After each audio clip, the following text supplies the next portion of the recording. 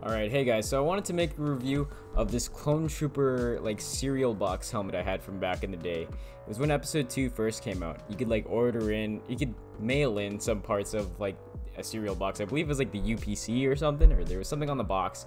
You would send it in, and basically they would send you one of these, um, which was pretty cool. It took a long time for me to get it. I remember being worried that I just wasn't going to get the helmet, but eventually they did get it.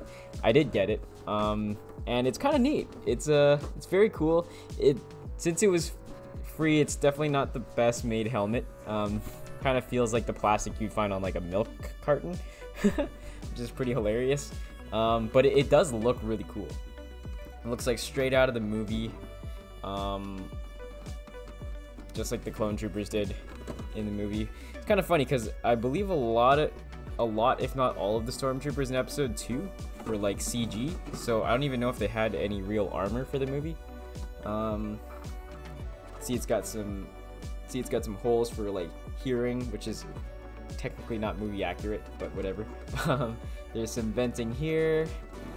Back's kind of got, kind of see the cool design of the gray and the black, and I don't know, the middle part here kind of looks very Star Warsy. Um, yeah, and then there's like a red I don't know if that was like a light or something, some sort of reflective thing at the back, but very cool. It's got some venting here, and just a very neat design. It's very cool. Kind of looks like something out of a out of a video game. And you can see the front here.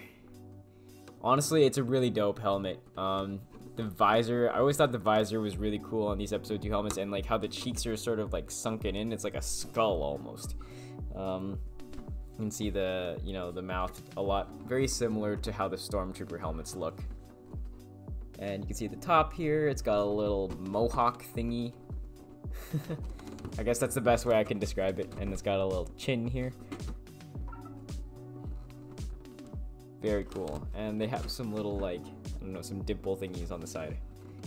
and it's wearable, which is cool.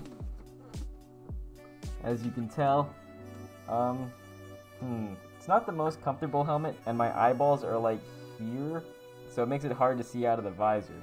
Maybe if my head was a bit bigger, it would fit a bit better, but it's also feels like it's pretty close to my head. Like these cheek parts are definitely touching my face already, as it is, and the back part's touching my head. So if my head was like bigger, it would probably not fit very well in here. It definitely works better as sort of a something you just put on the shelf. You can see out of the visor if your eyes happen to line up properly with it, but it's like super, super narrow to the point where like it's hard. Even if your eyes were there, there was not there's not a whole lot you could see. Anyways, kind of a cool video. I just wanted to make a review of this. Been sitting in my house for like the longest time, just kind of collecting dust. I actually just dusted it off to make this review. you can see there's not really much going on on the inside. It's very much just hollow. Alright, hey guys, I just wanted to say thank you all so much for watching. Hope you guys have a great day. You know, if you want to join the party, hit the subscribe button. It's right here. And you can check out one of my other videos right here. Okay. Thanks for watching, guys.